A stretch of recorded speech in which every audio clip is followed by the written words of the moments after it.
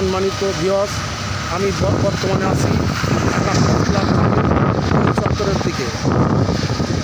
কোয়েল চত্বরের দিকে। বর্তমানে এখন রাত থেকে গুড়ি গুড়ি বৃষ্টি আসছে ঢাকা শহরে। যান চলাচল খুব কম মানে নেই বললেই চলে। দেখা যায় রাস্তায় রাত থেকে তো গুড়ি গুড়ি বৃষ্টিই হচ্ছে। এর জন্য করে এখানে অনেক আহ, যান চলাচল যান চলাচল অনেক কম। তারপরে আজ শুক্রবার জুম্মার দিন দেখা যায় মানুষজন সব রাস্তায় কম নামছে। এবং পুলিশ প্রশাসন দেখেন পুলিশের গাড়ি আহ, আহ, পুলিশের গাড়ি কিন্তু টর্চ দিচ্ছে দেখা যায় কোনো কোনো জায়গায় কোনো সমস্যা হচ্ছে কিনা। সেগুলো লক্ষ্য করেছেন। দেখেন আপনারা রাস্তায় গাড়ি, বড় গাড়ি তো বা বাস, ট্রাকগুলো খুবই কম। তো কিছু কিছু দেখা যায় ব্যক্তিগত প্রাইভেট বা আপনার সিএনজি, রিক্সা, এই দিয়েই মানুষ চলাচল করছেন। বর্তমানে মানে দেখা যায় বর্ষার কারণে মানুষ অনেক আতঙ্কের ভিতরে এবং ঝড় উঠতে পারে আবহাওয়া জানাই সে- সেজন্য করে আপনারা সবাই আমার এই ভিডিওটা শেয়ার বা লাইক করবেন। যারা নদীতে মাছ ধরার জন্য বিভিন্ন স্থানে আসেন আহ, দূর দূরান্তে তারা যেন উপকূলে চলে আসেন।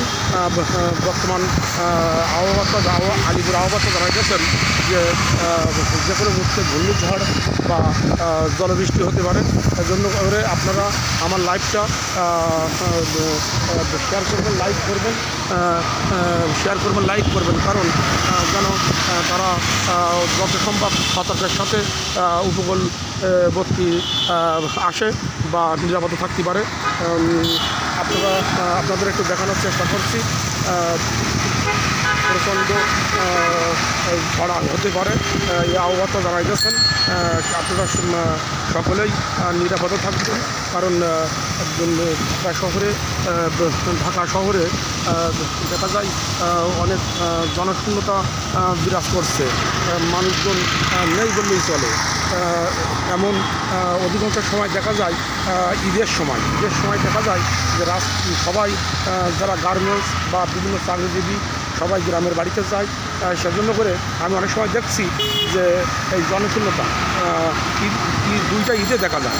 কিন্তু বর্তমানে অবরোধের কারণে বা আহ, আপনার আহ, অবরোধ এর কারণে বা আপনার যে নির্বাচনের তফসিল ঘোষণার পরপরই মানুষের যে বিভিন্ন যেমন বিএনপি জামাত, ইসলামী বিভিন্ন আন্দোলন তারা যে যে কোনো মুহূর্তে রাস্তায় অবরোধ করার চেষ্টা করছে।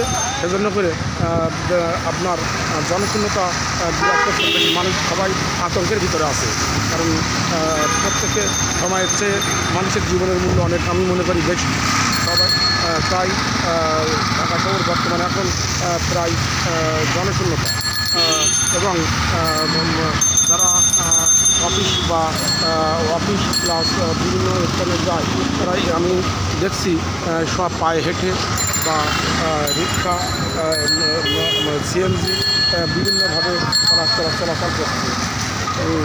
আজ শুক্রবার বিভিন্ন পরীক্ষা আছে, তাই বিভিন্ন পরীক্ষার জন্য স্কুল কলেজ বা বিভিন্ন ভার্সিটিতে একটু বেশি দেখা যায় পরীক্ষার্থী দেখা যাচ্ছে। তবে আমি মনে করি যে আপনারা সবাই ভালো থাকবেন এবং ভালো থাকবেন। আমার চ্যানেল হয় টোয়েন্টি ফোর নিউজের সাথে থাকবেন। টোয়েন্টি ফোর নিউজের সাথে থাকবেন এবং আমার ফেসবুক পেজ আপনারা লাইক করবেন শেয়ার করবেন